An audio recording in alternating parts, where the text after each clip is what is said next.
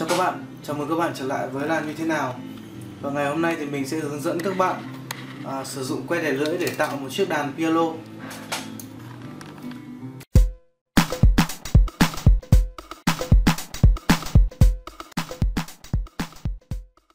Dụng cụ các bạn cần chuẩn bị như sau. Thứ nhất là que đẻ lưỡi. Loại que này các bạn có thể mua ở cửa hàng y tế với giá cực kỳ rẻ. Tiếp theo, chúng ta sẽ cần sử dụng keo 502 Mình sẽ sử dụng thêm súng bắn keo, Đây là keo lến Một chiếc cưa. Để cưa cho nhanh, Còn không thì các bạn có thể sử dụng dao dọc giấy cũng được. Cùng với một chiếc bút Và thước.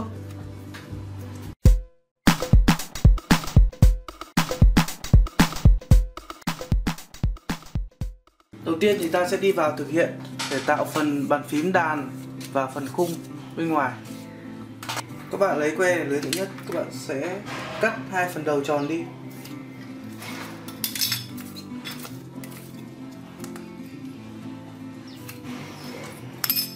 Mình sử dụng cưa để cắt cho nhanh.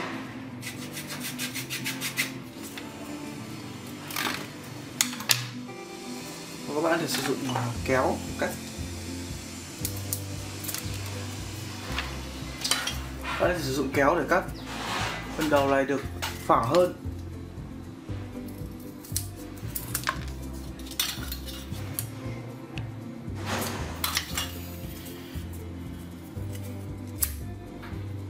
Ta sẽ tiến hành vẽ phần uh, bàn phím.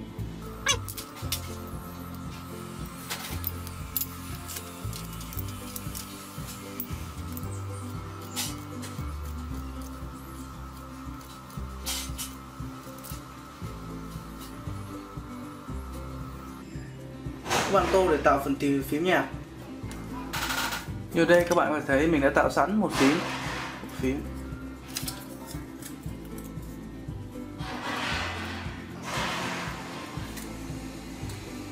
Tiếp theo ta sẽ tạo phần gỗ phần thanh bên trên. Cách các bạn cắt một cây lưỡi và các bạn cưa đôi ra. Chúng ta sẽ đánh dấu bằng bút chì. Sau đó các bạn sẽ sử dụng dao giấy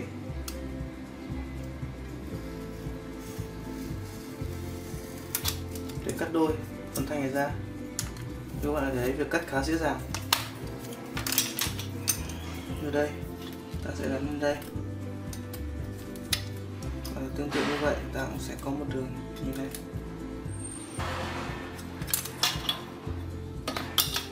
Tương tự chúng ta cũng đo và đánh dấu.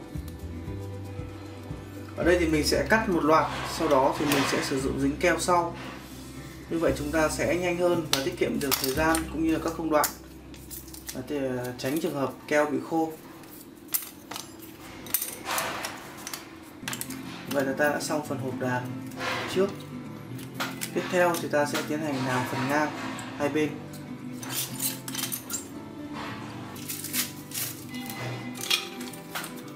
Bạn có thể, mình sẽ dựng sơ qua ở đây cho bạn để dùng được.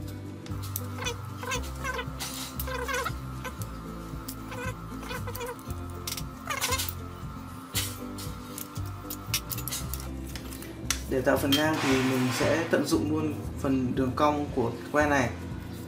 Các bạn sẽ cắt tầm 2 phần 3 của que.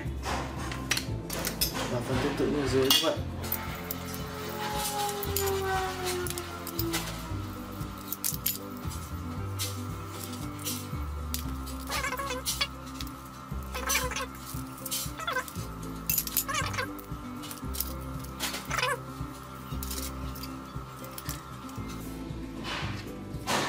Đứng ứng chừng phần thân đàn của các bạn.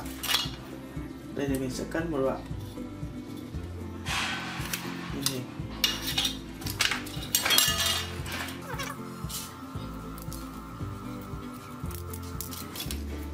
Như vậy ta sẽ có một thân đàn phía trước như, như vậy.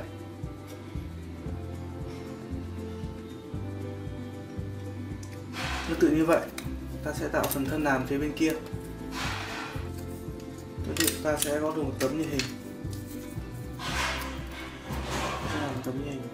Và các bạn sẽ cắt phần thừa này đi.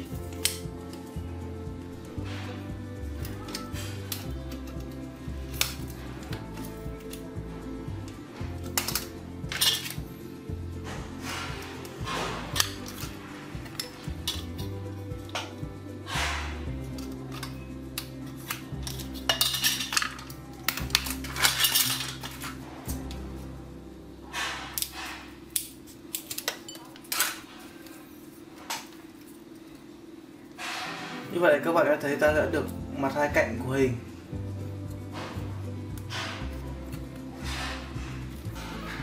Tiếp theo thì mình sẽ tiến hành đổ keo.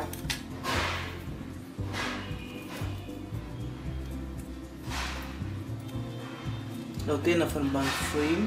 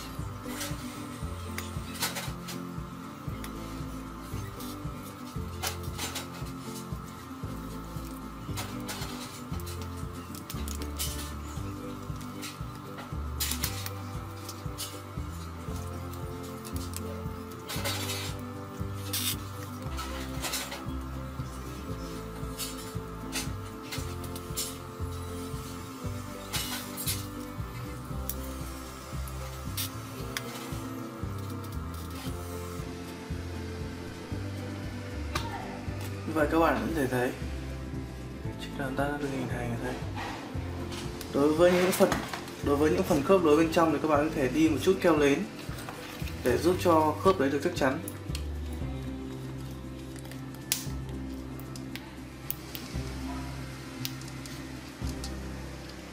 Như vậy các bạn thể thấy, đây thì ta đã hoàn thành xong phần phím. Tiếp theo thì mình sẽ làm phần mặt sau và phần đắp đà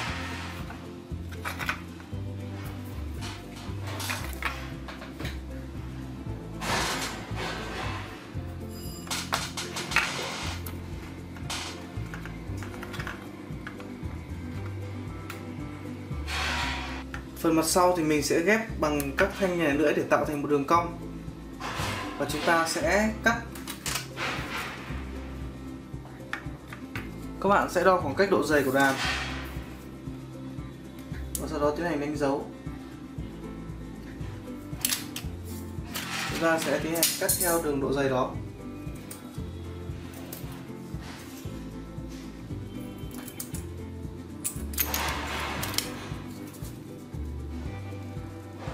Các bạn cắt tầm khoảng độ chục thanh như vậy.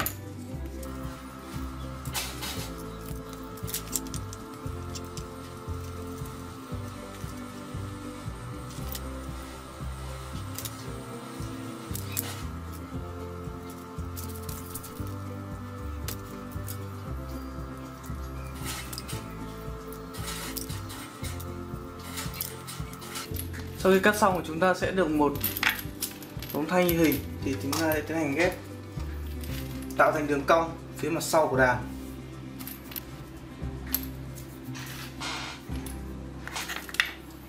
Tại phần này thì các bạn nên sử dụng keo lến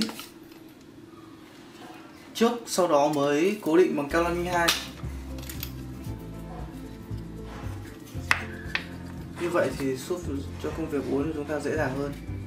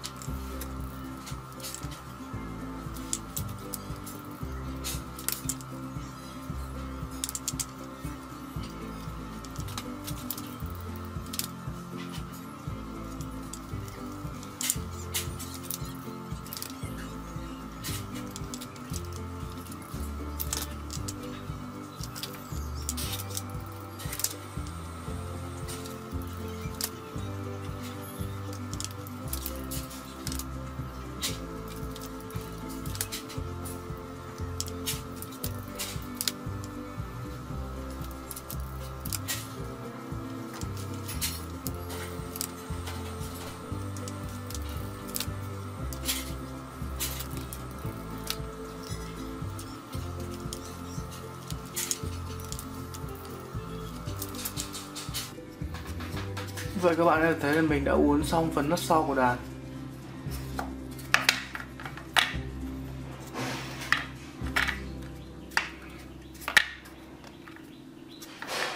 Tiếp theo ta sẽ đi tạo phần nắp trên và chân của đàn. Để tạo phần nắp trên thì các bạn sẽ tìm một loạt các thanh đè lưỡi. Các bạn sẽ tìm những thanh có phẳng một chút. Ta phải chọn chọn những thanh phẳng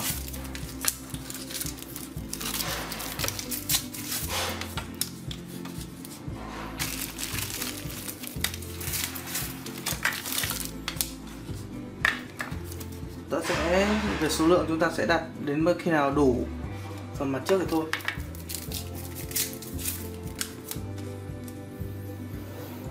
Như đây thì mình sẽ dùng 5 thanh. Đầu tiên thì các bạn cắt phần đầu đi cho vuông góc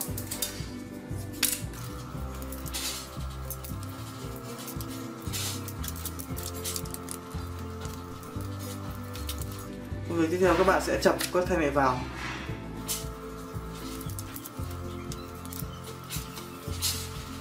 Các bạn lưu ý là để phần đuôi vuông góc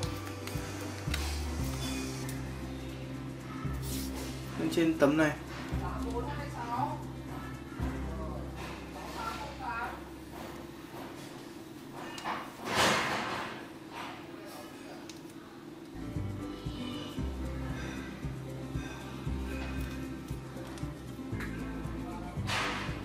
Sau đó các bạn tiến hành cắt theo đường cong vừa vẽ.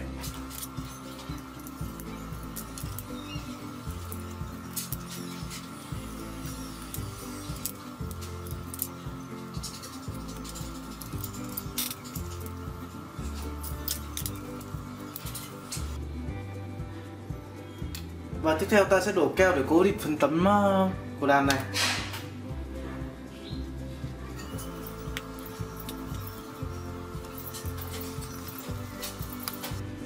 Các bạn chờ một chút cho keo khô.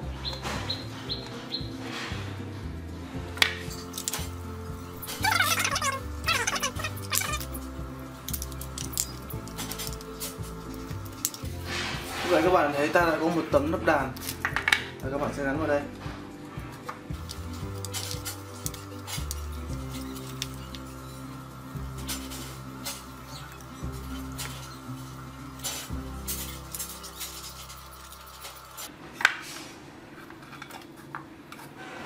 Sẽ làm một thanh trống để chống phần nắp này. Như vậy các bạn có thể thấy phần thân đàn và phần nắp đàn của chúng ta đã hoàn thành.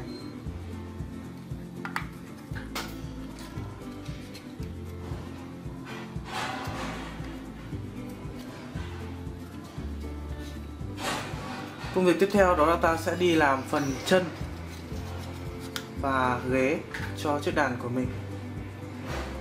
Tiếp theo thì mình sẽ đi gắn phần chân cho chiếc đàn về phần chân này thì các bạn có thể tạo hình được đẹp hơn khi các bạn tỉ mỉ. Ở đây thì mình sẽ làm nhanh thôi.